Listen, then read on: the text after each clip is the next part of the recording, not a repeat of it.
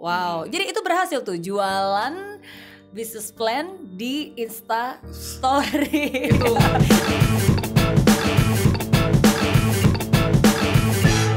Eits, tunggu dulu. Sebelum nonton video lengkapnya, jangan lupa untuk subscribe ya dan klik link di bawah ini. Jangan lupa juga untuk klik tombol loncengnya. Oke?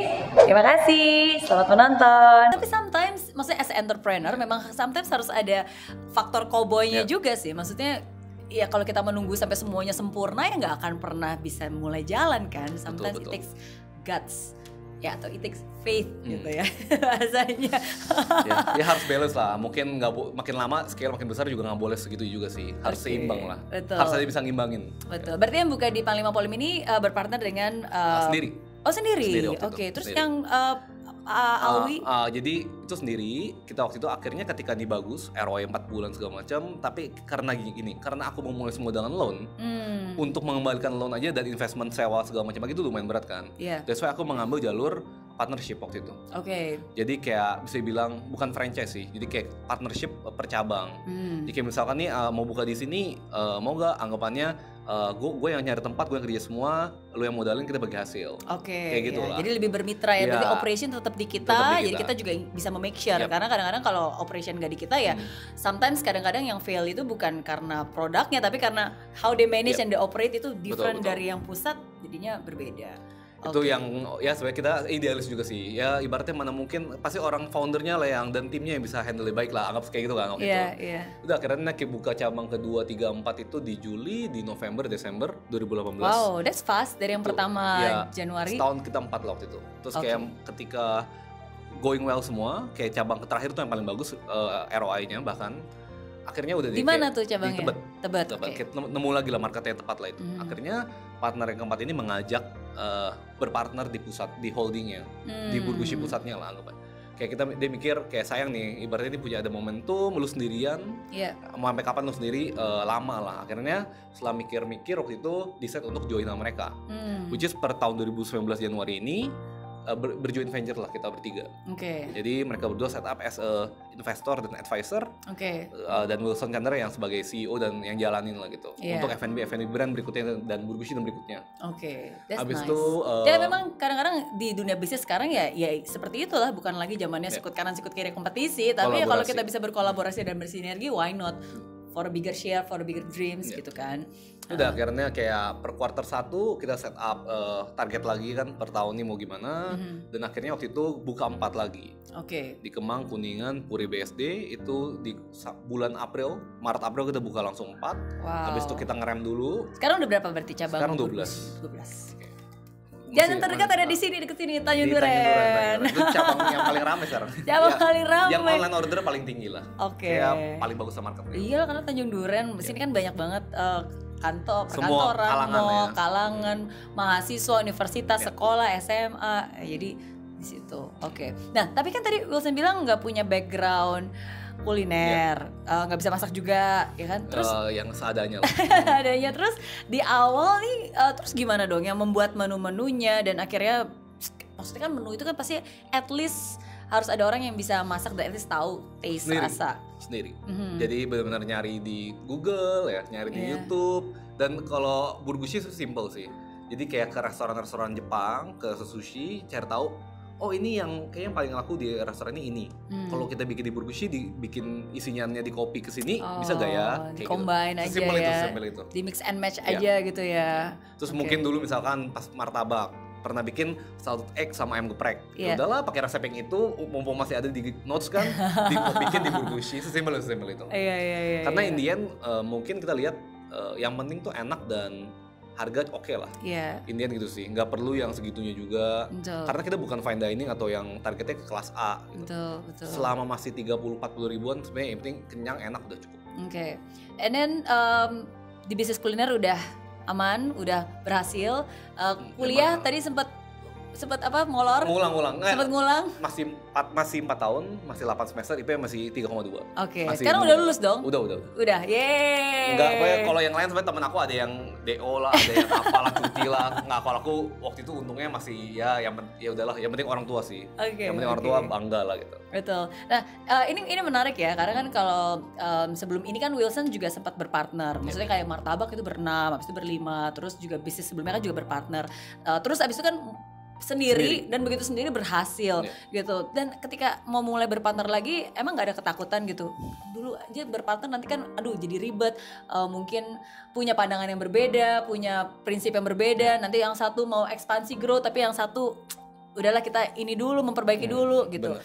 Do you have ada hesitant nggak sih untuk bisa Sebenarnya berpartner? kalau ditarik ke belakang, Wilson ini ber- berpartner selalu dia yang di depan emang. Hmm. Karena emang kayaknya sukanya itu di depan orangnya. Suka jadi wajahnya, suka yang nggak suka diatur gitu. Hmm. Dan emang sama partner terakhir ini emang dari setupnya itu, dari job desk dan segala macamnya itu emang Wilson majority ada sendiri. Oke. Jadi kayak ya bisa dibilang kayak setupnya cheerleader setup lah gitu. Jadi mereka itu supporternya. Hmm. Ketika butuh uh, bantuan di mana lu ngomong. Oke. Jadi dibeba- setengah dibebaskan juga lah. Mhm. Di explore mungkin karena emang dia, ya partner aku pun tahu lah nggak bisa kekang dan segala macamnya. Iya. Jadi mungkin mau berpartner lagi karena pertama itu karena mungkin uh, masih di depan dan segala macamnya. Iya. Walaupun sekarang kayaknya lagi mau mencoba ada yang ini sih yang turun ke lapangan juga sih ke operasi juga. Iya. Mulai butuh lah, mulai butuh. Iya. Cuman mungkin karena itu, kedua mungkin karena bisa membantu ini kali ya, meng- memperluas, memperbesar visi. Hmm. Jadi mungkin waktu itu ngelihat ditanya, Son, lu ngeliat Burbushi 2019 mau seberapa banyak gitu, seberapa cabangnya? Iya. Ya kok 8 udah bagus lah. 8 udah banyak, ya pelan-pelan lah benerin dulu uh, operasionalnya. Tapi dengan ada mereka, sekarang bisa 12 gitu. Iya. Dan bahkan brand kedua juga 12 lagi tahun ini. Iya. Udah- Jadi kayak wow jauh sih Di accelerate lah ya. jauh bener dari dari segi resource-nya dari segi mindset koneksi semua diban diperbantukan Oke, ya jadi memang sometimes um, berpartner memang kalau sekarang dibilang zamannya kolaborasi, Iya. memang benar zamannya kolaborasi, tapi kolaborasi juga bukan hanya asal kolaborasi ya. Hmm. Ya maksudnya harus bisa saling melengkapi dan memang sesuai dengan porsinya masing-masing gitu. Betul. Oke, jadi at least ada satu di depan, ada mungkin satu yang di belakang, ada satu mungkin lebih ngurusin bagian investmentnya, Iya. ada satu mungkin lebih ngomongin tentang ekspansi dan brandnya Hmm. gitu. Oke. Iya. Dan akhirnya Burgusi sudah ada uh, 12, 12 cabang Hmm. Dan em, bukan seorang Wilson Chandra kalau hanya puas di situ ya. Akhirnya sekarang betul bikin betul bikin sekarang nah, sekarang 12 itu juga dikit banget gitu iya. bete itu lah 12 itu dikit dikit, dikit gitu ya Oke, terus sekarang kan udah banyak uh, ada bisnis lain nih selain Ya, Burgusi. jadi kayak brand kedua di satu Kuliner juga. F&B juga Oke. emang fokusnya mungkin F&B kali ya Oke, nah kapan kamu memulai uh, brand yang kedua dan kenapa memilih untuk memulai brand yang kedua? Kenapa nggak difokuskan aja untuk membesarkan Oke. Burgusi jadi 120 cabang? Siap. Hmm. Waktu itu mulai ide kedua itu dari bulan Juni idenya Hmm. dari Mei Juni lah Juni tahun, ini. tahun ini. Oke. Dari April ideation, Mei, um, dieksekusi opening Juli, which is dua bulan, dua bulan, dua bulan. Iya iya iya. Di bulan Apa kuliner juga? kuliner juga. F&B juga. Kayak dari Mei, iseng bikin uh, business plan, share ke my partner, nih ini segini nih, uh, cabangnya segini, segini segala macam, produknya ini belum ada produknya. Hmm. Di bulan Jul- Juni udah iseng. Pertama awal, awalnya tuh bener Instagram story doang. Hmm.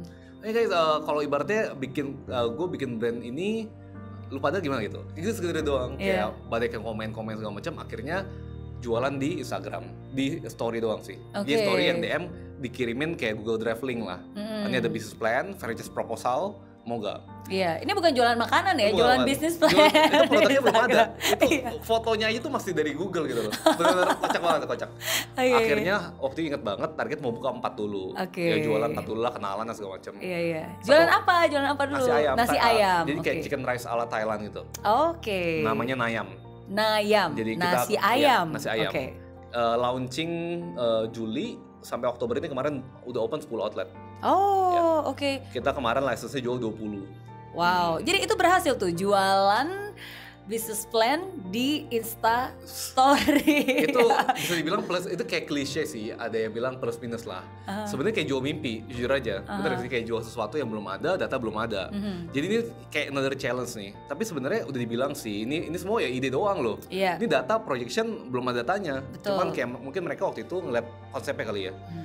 Dan Koawi pun itu masuk dan join tertarik karena konsep ini sebenarnya Oke. jadi dia tertarik karena brand kedua ini Iya. waktu itu Iqbal sehari jualan uh, laku 4 slotnya Mhm. besoknya laku 6 Mhm. seminggu laku 10 waktu itu Padahal belum ada cabang sama Belum, sekali, belum, belum, ada produknya juga belum ada. Belum ada Oke. baru baru, eh, baru ide minggu depannya bikin suruh desainer aku bikin ini bikin PPT nih data dari sini nah udah doang tapi oh ternyata ini bisa jadi besar ya Iya. terus kayak lihat oh eh yaudahlah akhirnya kayak harus coba deh anggap aja eh, 10 nya ini sebenarnya itu dia udah, udah bayar booking fee semua jadi itu Mhm. jadi udah harus serius beneran lah Betul. anggapannya lah terus kenapa kalau balik ke pertanyaannya kenapa brand, brand kedua karena emang kita dari awal membentuk PT ini bukan PT Burgushi namanya Mhm. tapi PT namanya Mozzarella Rasa Global emang karena mungkin karena kelebihan Wilson ini itu eh, bukan di daily operation Mhm. tapi di branding and business lah anggapannya and Oke. marketing and segala macam jadi Untuk kayak memulai, memulai, konsep, memulai ya ya, konsep eh, bikin jadi brand. Mungkin lebih cocok makanya that's why kayak kita lama-lama mengubah bisnis model jadi franchise. Mhm. karena emang franchise kan gitu kan ibaratnya ada konsep ini uh, goalnya adalah cabang sebanyak banyaknya brand sebanyak banyaknya. Mhm. oleh karena itu ketika kita lihat Burgushi uh, sampai sekarang tuh dua tahun tuh nggak ada kompetitor bingung juga. Mhm. beda sama kopi susu banyak banget. Iya, nah uh, ayam geprek banyak banget Burgushi tuh nggak ada. Mungkin karena di niche marketnya. Iya. that's why plus minus plusnya adalah nggak ada kompetitor uh, anggapannya ya udah lu solo pemain solo yeah. uh, marketnya tapi segitu dua aja mungkin scale-nya yeah. dan kita melihat itu mungkin ya 20 cabang udah mentok untuk burgushi. yeah. dan Wilson mencari brand yang bisa 50 cabang yeah. nah akhirnya muncullah Nayam Iya, yeah. kenapa ayam? Di mana udah banyak banget ya tadi kan ayam geprek lah, yeah. ayam penyet lah, ayam gedubrak lah. Ayam. Itu, mungkin karena gini lihat dari Burgushi, nasi lebih berhasil daripada roti. Mm. Lihat um, 20 ribuan bisa bisa kenyang tuh makan nasi itu ayam apalagi iya gitu kan jadi dan awal tahun tuh ke Bangkok yeah. di awal tahun ke Bangkok ke Pratunam lihat tuh ada kayak nasi chicken rice tuh yang kayak udah legend banget yeah. di kaki lima 50 bat 22 ribu yeah. that's why wah kayaknya bisa dicoba deh di uh, di sini mm. ya, kemarin kita tuh awalnya cuma bikin nah, simple Highland rice ada goreng, ada steam. Oke. Okay. Kalau biasa panggang sama steam nih, yeah. uh, kita tuh goreng karena Thailand tuh digoreng yeah. dan sausnya saus Thai. Yeah.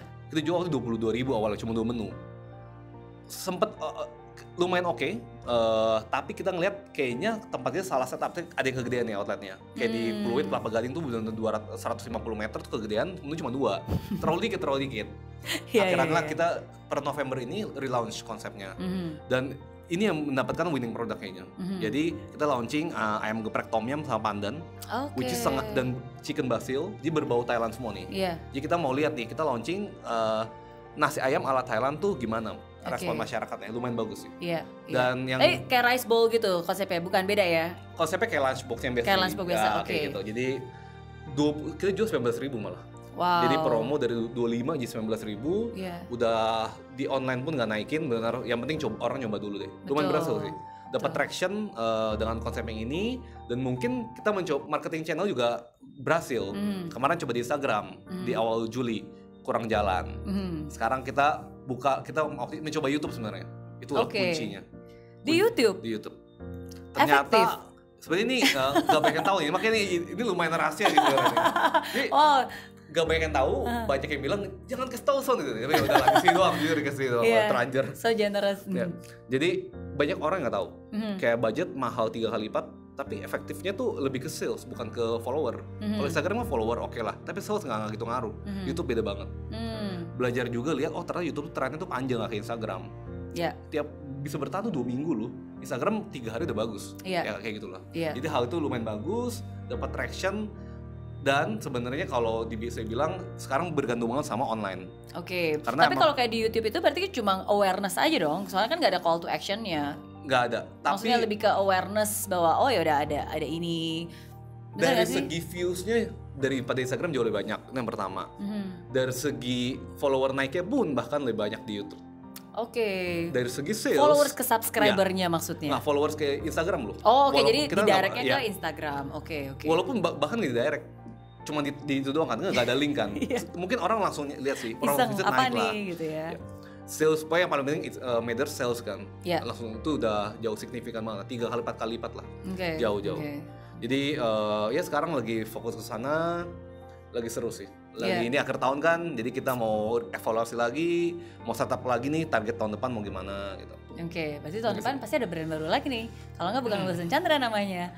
sebenarnya ya targetnya ada, ada lah cuma nggak ada tahu Ada ya? karena awal tahun ini pun Burgushi doang udah Burgushi 20 cabang targetnya Oke. tapi sekarang di, enggak kan man brand kedua gitu Iya. jadi nggak ada yang tahu sih Hmm, oke. Tahu.